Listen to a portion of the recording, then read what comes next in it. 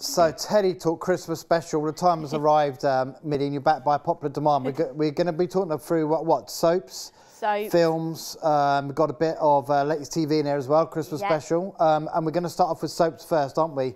Um, I know we don't know too much about um, what's going to be in, in some of the soaps, but people watch soaps at Christmas time, don't they? I mean, um, even if the, the storyline's miserable, which they, they often are. Yeah, I think so. I must admit, I was a religious watcher of Coronation Street probably before uni, and then I came, missed about a week, and just gave up.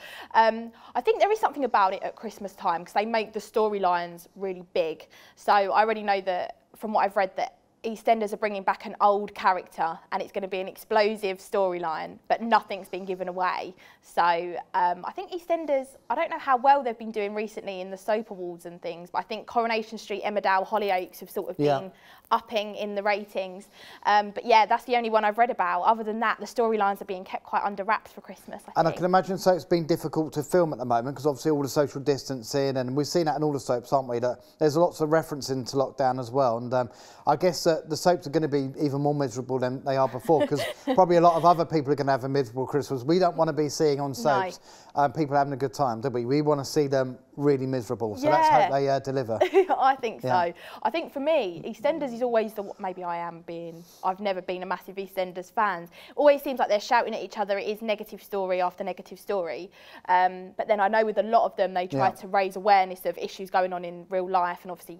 Especially with COVID, that's probably going to be a theme throughout. But how much they're going to, how much filming they're going to have got done in the last, well, last few weeks of lockdown, Yeah. it's, it's going to be quite, it's going to be quite interesting to see. Yeah, is it because people, a lot of people don't have, you know, they kind of having issues with family relations and that, and they want to see that reflected on the soap, or, or is it just that the story writers of the soaps don't, um, they can't come up with a good storyline, or, or, or they're not happy themselves? What is it about this?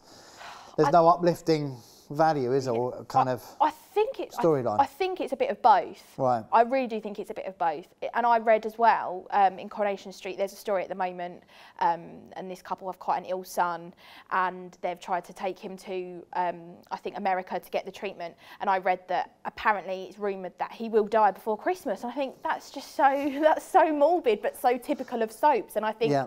people do naturally expect that mis- that misery. But who, I think with COVID, I think it would be nice if they did something uplifting. But who knows? Yeah, exactly. Um, and then so we got, and then obviously we got we got, Emmerdale as well. And um, I mean, Made in Chelsea. I mean, it's not really a soap, but it almost feels like a soap. I It mean, we're going to get a Christmas special on that, aren't we? Probably as well. I think the Christmas special, it always just sums up everything. There's usually Yeah. a massive drama at the end, and then it makes you the cliffhanger at the Christmas special then makes you want to watch. Yeah. Makes you want to watch the next season even more. But I, I love the Christmas specials of a lot of a lot of Yeah. TV. I think I think they're great. Do, so do you think Zara, they gonna, is Zara going to get back together um, with Sam? Do you think? Oh, I've read that they're that I think Christmas? Sam's friends are quite concerned. That was a well, a Snapchat snippet that Yeah. came up that Sam's friends were quite concerned that he was getting back with Zara.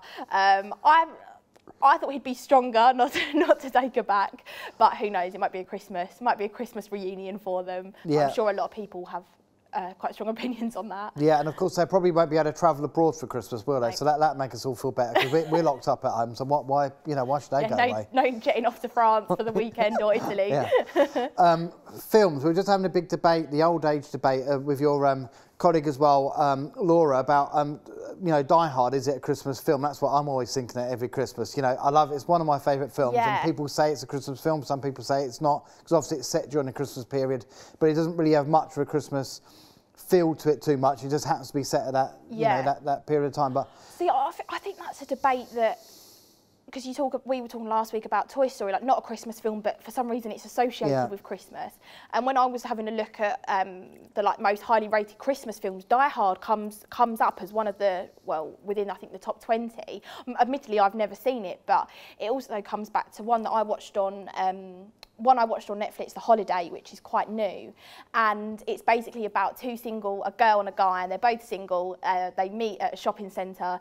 They don't. They both hate the pressure of having to bring someone to all these family holidays. Yeah. And I thought it was going to be based purely around Christmas, but even though Christmas was at the centre of it, they also showed.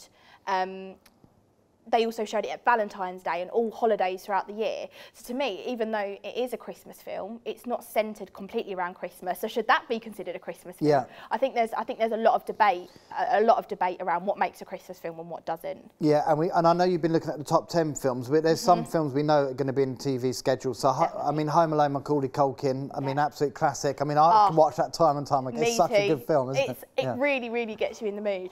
I mean, I was shocked to read that he he got paid quite a considerable Yeah. um, amount for the second film in comparison to the first.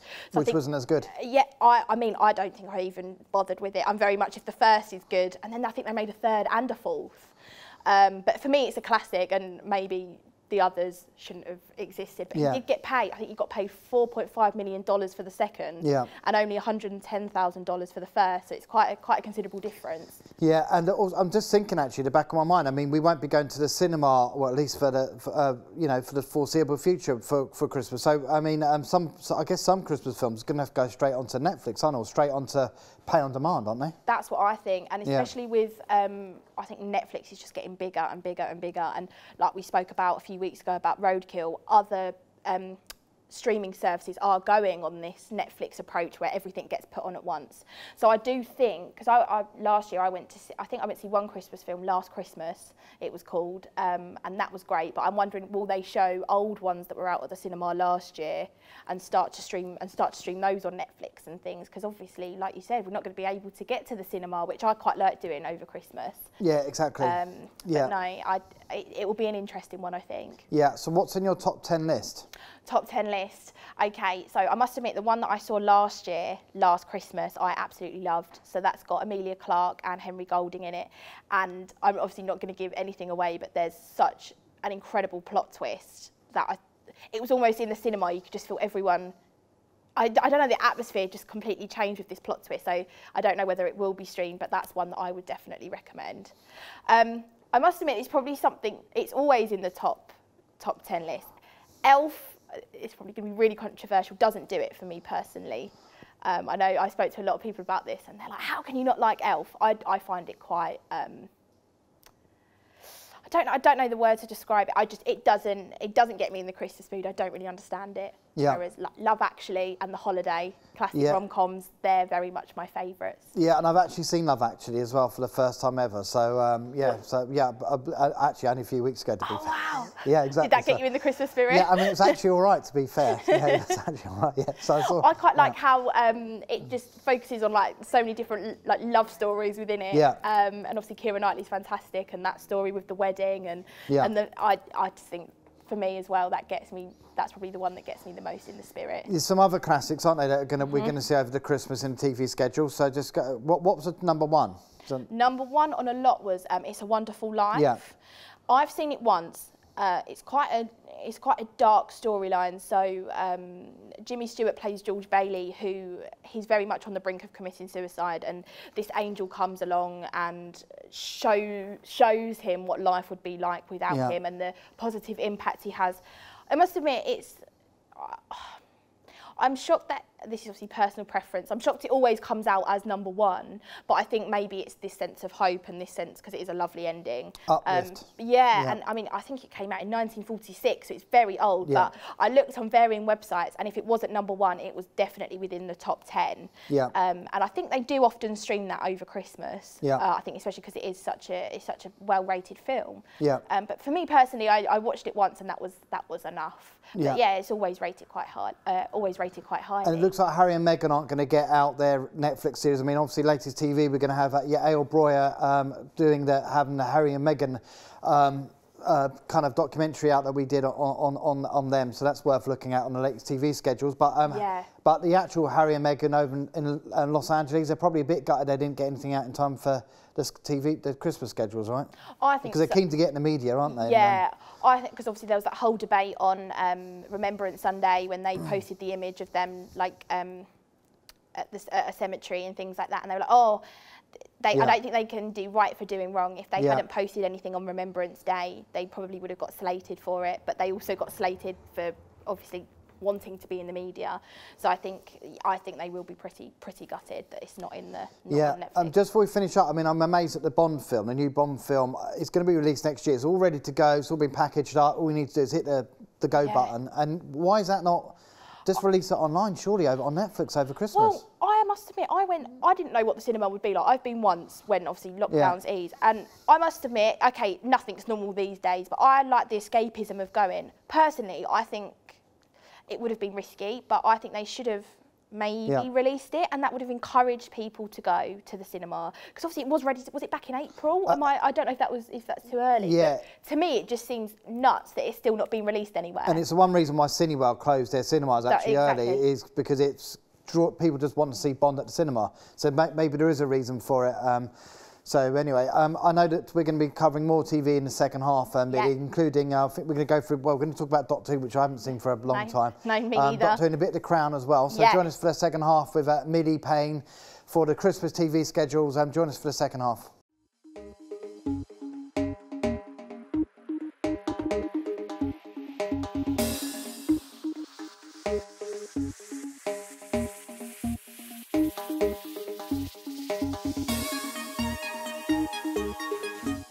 So back here with Millie Payne, and it's a Christmas TV re- um, preview. Nearly said review, not quite at the uh, 2021 yet. are we? So uh, yeah. Anyway, um, so moving on to um, the schedules in Doctor Who. Haven't seen it for years. Watched it in the 90s. Um, is it still going? I guess it's. I think it's the longest running um, BBC program, isn't it? yeah, uh, admittedly, I'm not a fan. Um, Big budget nowadays as well. Yeah, I look. I think I this would be the 14th Christmas special this year. Yeah.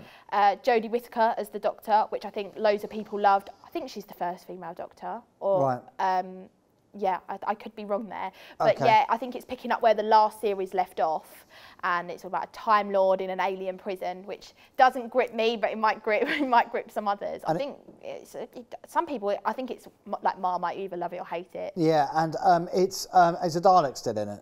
Because I, I, I remember Daleks, and I've actually seen one of the real Daleks as well. So uh, I think know. I read they're coming back for a Christmas special, which gave me Right. the impression they've obviously not been a part of Doctor Who for a while. But yeah, I, I believe they're starring in the Christmas special from what I read. right, and um, so we can look forward to that. Um, um, it's a shame that we don't uh, have, um, uh, you know, because I remember Christmas specials being at The Office, you know, in the 90s or the early Yeah, noughties even. I mean, it's still an absolute classic.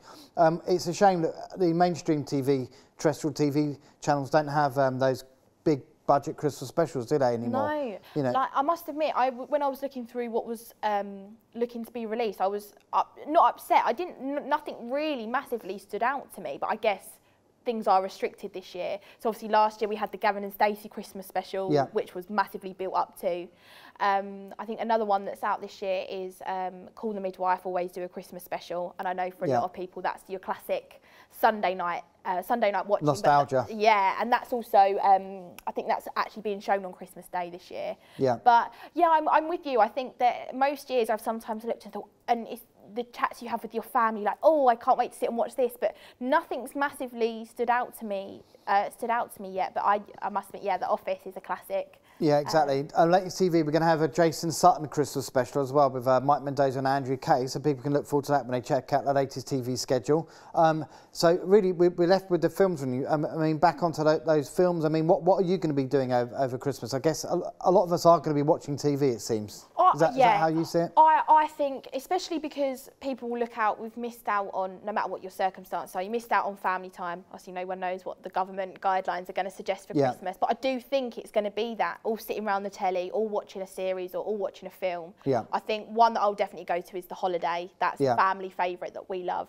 Um, I believe there's a, um, a uh, an animation series, well, an animation film coming out uh, called Zog and the Flying Doctors, which is um, said to be really going to be popular with families. That's starring Sir Lenny Henry, Yeah. um, Rob Brydon, and Patsy Patsy Ferran, I think. Yeah. Um, and that he said, I think it's an hour long, and that's said to be a family favourite. It's based on a book.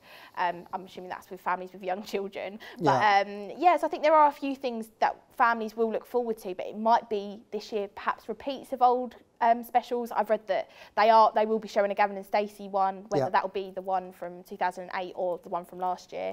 Um, so yeah, Only Fools and Horses is going to be played about a million times as well. Don't, it's a classic, and I think the royal family's often played. Is it the royal Family That's family? definitely going to be played yeah, another that's thousand played quite times. a lot so that's over a BBC Christmas. schedule done then. So only Fools and Horses and uh, Yeah. and, uh, Royal Family. So Yeah. uh, exactly. I mean, they are good programs, and maybe they we don't make stuff like that um, like, like we used to. I know I sound a bit kind of rose tinted. No, I'm But. I mean, um, you know, it's true, isn't it? It is. I mean, you can't beat a bit of only Fools and Horses. I mean, No, no, you can't. I think that is always mm. something that. I mean, my granddad is a massive fan, so that's always something that, whether it's Christmas or not, is, al- is Yeah. always on. But it is. I think the people appreciate if.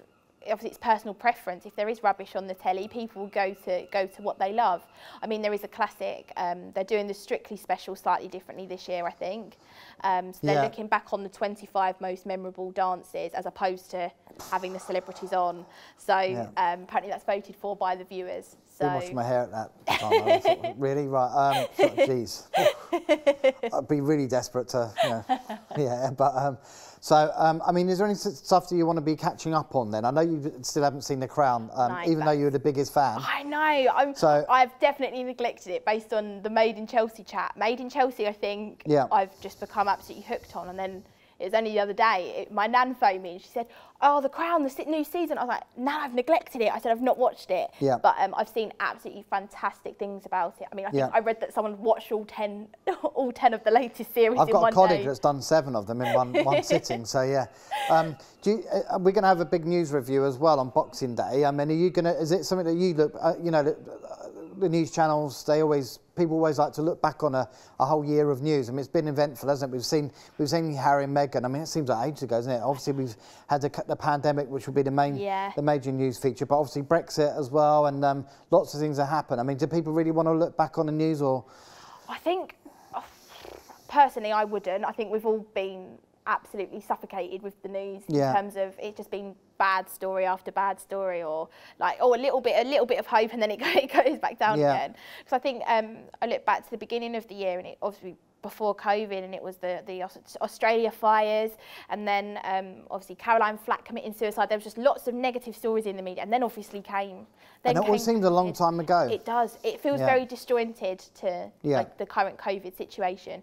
Personally, I don't. I I would not care to sit back and look on Yeah. look on the news. Yeah. Um, So uh, exactly, um, um, but um, I mean, it's we are going to remember this year, aren't we? The, the, for sure. So um, I'm just thinking about some of the series as well that have, that have happened. I mean, I know we've spoken about Roadkill. I mean, probably some people would be getting looking at that, wouldn't they? Um, Yeah. And sit, looking back at the Roadkill series. Any other series that, that from the, this year that kind of um, caught your eye and you might want to look back and watch Oh, second time? d- The Crown definitely. I'm looking to finish, hopefully, because I definitely have neglected it.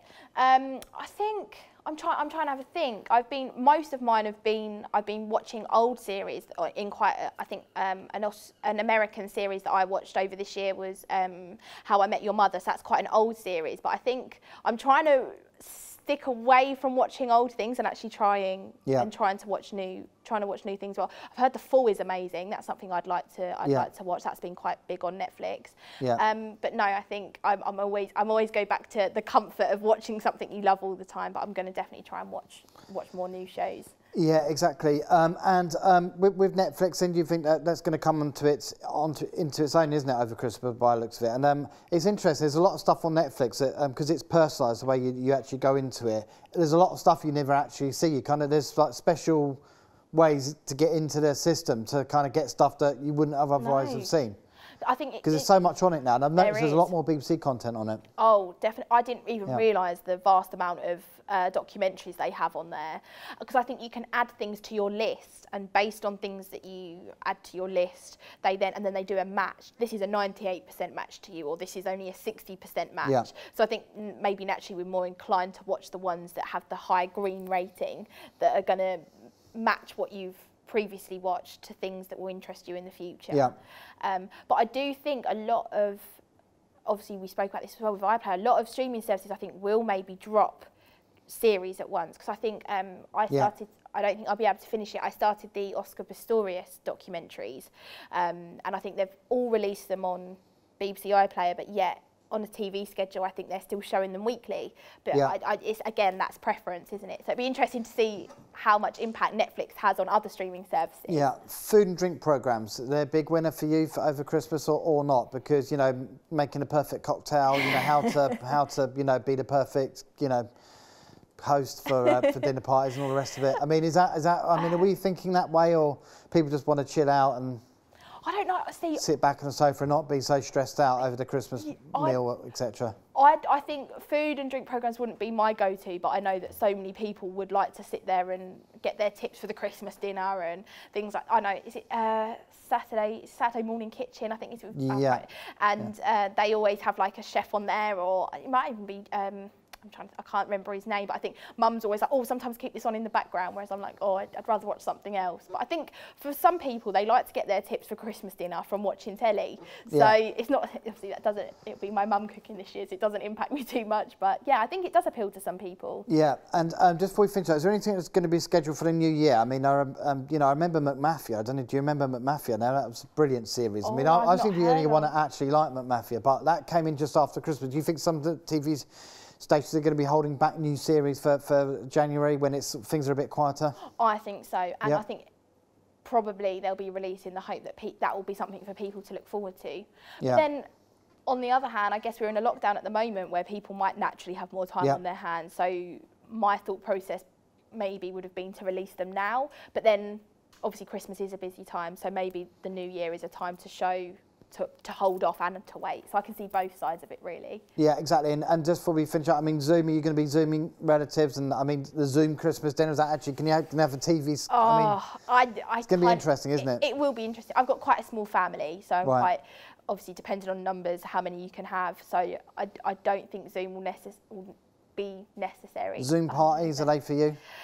So we did, I did a Zoom quiz last week, and Any good? it was actually it was very different, um, like different rounds. So not your typical general knowledge music. It was very very creative. But I think I must admit that I mean, Zoom drinks parties Yeah. is one is interesting because you kind of you'd have to look at the screen, wouldn't you, with that Christmas cocktail and um, yeah.